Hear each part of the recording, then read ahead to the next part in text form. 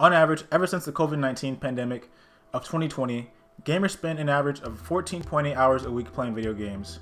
With the rising popularity of gaming content creation and online work in general, we are straining our eyes more than ever, which is why you need to make sure you're taking care of yourself. Studies say that 50% of computer users or gamers experience digital eye strain at some point. One way to lower the amount of blue light you take in is by wearing JS Vision Blue Light Shield computer slash gaming glasses, or really any other glasses that block out blue light in some way. Blue light can cause permanent damage to your retinas, which is called phototoxicity. This is true because, and I quote, almost all blue light passes straight through to the back of your retina, according to Whitney Settlement, certified optometrist. These glasses are good for anyone who spends more than 2 to 3 hours in front of a screen. They'll reduce frontal lobe headaches, the need to squint, and the need to take frequent work breaks because of blue light intake.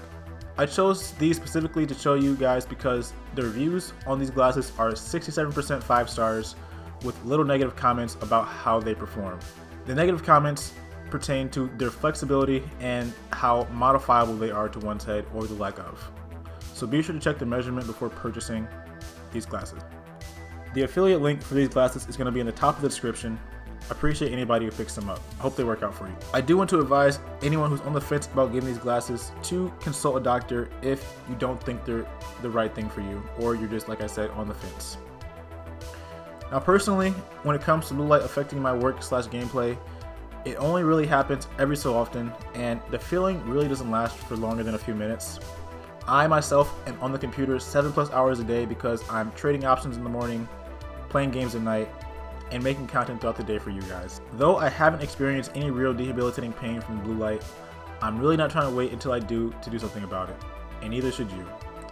It's best to prevent it rather than fixing it after the fact, and these glasses do prevent a noticeable amount of blue light from reaching your eyes right as you put them on. It's honestly a big difference. It makes me think about all the days I've spent staring at a screen without them and how much damage I might have already done to my eyes. Do your future self a favor and buy these glasses, or like I said, any glasses that block out blue light because it's damaging over the long term. I'm not trying to scare anyone, but I am trying to make gamers and computer workers more aware of their health risks that come with working or playing in front of a screen for prolonged periods of time. I look at things like this as an investment in my health, just like health insurance. They also, by the way, come with a very nice cleaning cloth.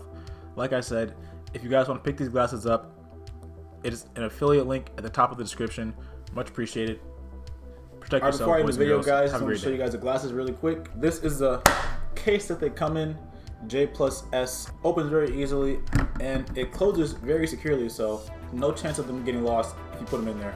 You can see the yellow tint on them, and when I put them on, it quite literally stops the blue light from me seeing it. And so they do kind of have some flex to them.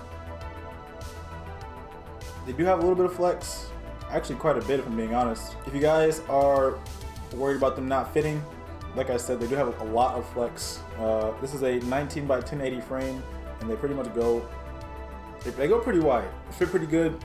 They're comfy.